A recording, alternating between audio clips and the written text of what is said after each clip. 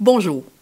Au cœur de toutes les organisations, il y a une activité à laquelle on ne pense pas toujours, mais qui est absolument essentielle. La gestion des opérations et de la logistique, la GOL.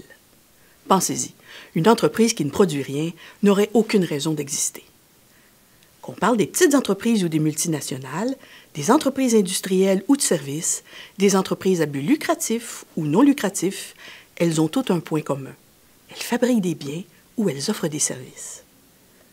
Pour être capable de réaliser ces biens et ces services, les entreprises doivent mettre en place un système opérationnel, c'est-à-dire un ensemble d'installations, de processus et de ressources. Et tout ça doit être bien organisé et bien planifié. En fait, le but de la GOL, c'est de réaliser les bons produits et les bons services au bon moment, au bon endroit et au meilleur coût possible. Il y aura des capsules thématiques, des interventions par des experts, des exercices et des évaluations en ligne et un livre de base pour encadrer tout ça. Vous pouvez donc étudier à chaque semaine, au moment et à l'endroit qui vous conviennent le mieux. N'oubliez pas de vous inscrire, on vous attend.